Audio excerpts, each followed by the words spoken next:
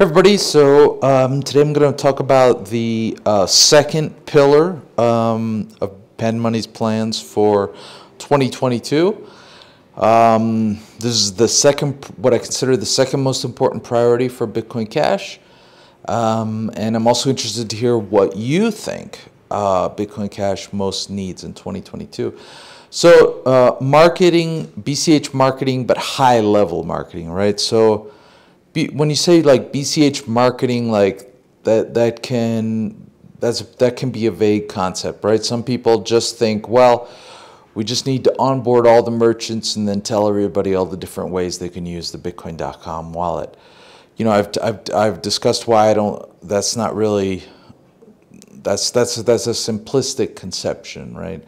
So everything that involves like, um, you know, uh, affiliating merchants and orienting new people and stuff, I, I call that onboarding, right? And all of that has uh, a local focus, right? Because that, that tends to happen on the ground, either literally, you know, on the ground in different areas across the globe, or, you know, even if it's via digital marketing, it's still figuratively on the ground because you some aspects of it have to be tailored to each each uh, area, you know uh, like South America, or sorry, uh, Latin America can be dealt with fairly as a whole, except for Brazil, of course. Brazil, they speak a different language, and you know that's going to require a separate approach.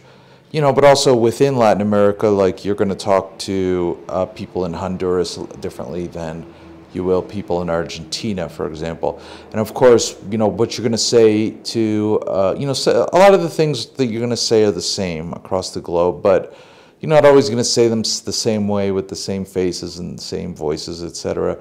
Uh, you know, for, for Latin America as you do for Africa or Asia, of course. So that's really local onboarding, right?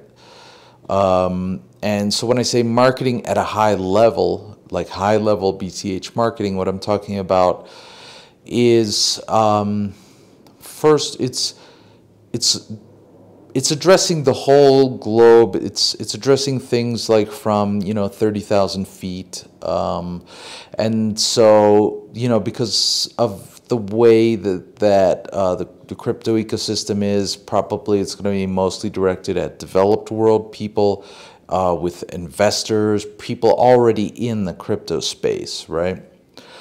So I think there, there's some key areas that need to be dealt with. First, I would like to see a, uh, a brand uh, refresh uh, for Bitcoin Cash. So, you know, some people will get a little nervous, you know, at this, but like I would, you know, first of all, the, Bitcoin Cash has no official brand identity, right? It has no official logo, right? Uh, people just kind of use what they like, and there are, there are you know, there's there's orange and there's green. Orange, basically nobody uses orange anymore. Um, there are different shades of green, right? So, um, I mean, and people have put forth both in public and private different shades that they consider authoritative, but there is no authoritative shade at the end of the day. Uh, I think it would be good if we focused on using one particular shade, whatever. Um, and then, but I think that the key, you know, and so we have a flag logo, we have a circular logo, thanks to uh, BitcoinBCH.com. Uh, I'm pretty sure they're responsible for putting that out uh, in 2021, right? So there's actually a precedent for doing brand refreshes, right? Because in the beginning it was orange, then everybody started moving to green. In the beginning, it was the flag logo. Now, uh, there somebody BitcoinBCH.com did a uh, offered a brand refresh to a circular logo, right? So, and of course, the fact that I think there should be a brand refresh places no obligation on anyone. Actually, I mean, I have to do it, right? And I, I, I probably will. We'll see what happens. But you know, of course to those who are paranoid, a little bit paranoid and get jittery, um, you know, I, I think that like the elements that have to be preserved, right, that make the logo uniquely uh, a Bitcoin Cash logo is, of course, the Bitcoin B. uh, the backward uh, leaning one, right? And um, probably some uh, some shade of green has to be predominant uh, in the logo for it to still be uh, recognizable, right? Um, you know, but uh, I think we would benefit from you know uh, taking the logo up a notch, right? And I welcome your thoughts on that because you know obviously as someone who's you know ultimately the role my role would be to you know would be launching a new visual identity into the marketplace and others can either adopt it or not right? So if you have thoughts on that um, you know or if you have things like well i'm only going to adopt it if it's like this and i'm if it's like this it's it's it's a showstopper. I'm definitely not going to adopt it you know? So it'd be really nice if if anybody could share any thoughts they have there. Um, you know i think that would because I definitely want to have lots of uh, input and feedback, uh, you know, on this process, assuming I, I undertake it. Um, you know, and of course, you know, any any thoughts you put out, they're going to be available to anybody who might be thinking about, um, you know, uh, doing a, a brand refresh or producing an alternative logo, right? But it, it can't stop there. There needs to be a major brand marketing campaign. So brand marketing is is high level, I think high level marketing, where we basically tell this a story of Bitcoin Cash, but not, not a story that's like, well, it's a fork of Bitcoin and blah blah blah, right? And not like not BTC centric, right? Like why Bitcoin Cash. And I've talked about like the OSM um, strategy in a, in a previous episode of the vlog. Uh, so that, that kind of covers that, right? And, and this, the, basically there has to be new content and refreshes of content and, and listings, um, you know, in all the entry points where people will become aware of Bitcoin Cash, right? So Google search results, YouTube search results, um, you know, maybe Bitcoin Talk, um, you know, Coin Market Cap. Um, I've actually tried to uh, regain access to Coin Market Cap, um, the BCH listing there. Uh, I was very public about this. There was a thread on our Bitcoin Cash about it. Uh, everybody seemed to be happy with it, but um, you know, post the the uh, 2020 uh, network split, um, that got reset, and now only who the people who control bch.info are going to have any access to that.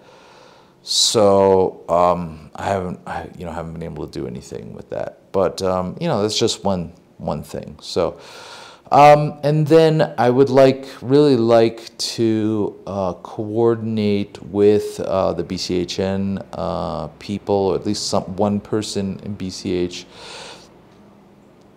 so that we can do some uh, like uh, add add some mystique uh, to the uh, protocol development process. Kind of like how Tron, uh, not Tron, how kind of like how Cardano does it, right? Like they name everything and like the Shelley testnet and you know all this stuff. I mean, it's a little bit pretentious, right? But it's also effective because it, it, it produces a constant stream of what looks like new developments and new work, right? And so, like, I don't want to get in the way of the protocol dev guys, and I know that can be a delicate process sometimes, but it would be really nice if there could be just a little bit of a coordination there, you know, so that like I could I could add that that flair, that mystique, and and and you know produce some like now we have the Voltaire testnet. I don't know. I don't know what form it would take, you know, whatever. But like, just, you know, take things that come out of protocol development, uh, that whole process chips, you know, like we need a roadmap also.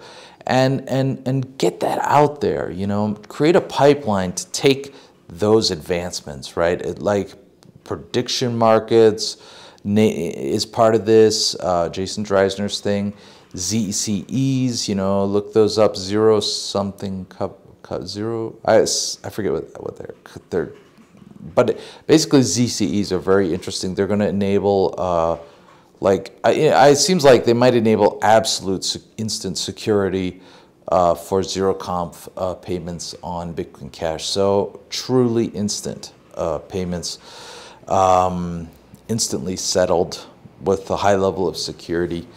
Uh, you know, another really interesting thing uh, from Jason Dries, Dreyzehner, whom you should follow. Uh, I'm pretty sure he, he's at bitjson on Twitter. Um, anyway, got off on a tangent there, but like we need to create basically a pipeline that takes um, real things, right, from the protocol development process um, and communicates them to the Bitcoin Cash faithful, right? The the the the army, the the soldiers, the potential investors, the the the cheerleaders, and you know keeps people interested, informed, excited about what's coming down the pike uh, in Bitcoin Cash. So that's the second pillar uh, for Panmoni in uh, 2022. Um, and um, there'll more videos coming soon. Uh, thanks for watching and uh, interested to hear what you think Bitcoin Cash needs in 2022. Let's keep building Bitcoin Cash.